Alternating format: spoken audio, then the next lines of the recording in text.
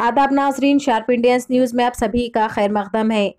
AIMIM के सदर barrister Asaduddin Owaisi ने याकुतपुरा एमएलए अहमद पाशा खादरी के साथ हैदराबाद पार्लिमानी हलके के मुख्तलिफ़ हिस्सों का दौरा किया और SPL chief secretary, municipal administration और शहरी तरक्यात mister Arvind Kumar, GHMC commissioner mister Lokesh Kumar और एआईएमआईएम के अहदेदारों के साथ सड़कों और सड़कों से मुतालिक मीटिंग की, जिसमें इलाके में नाला चौड़ा करने का काम इन्होंने मीरालम टैंक का भी दौरा किया। पेश है शार्प इंडियंस न्यूज़ से ये खसूसी रिपोर्ट।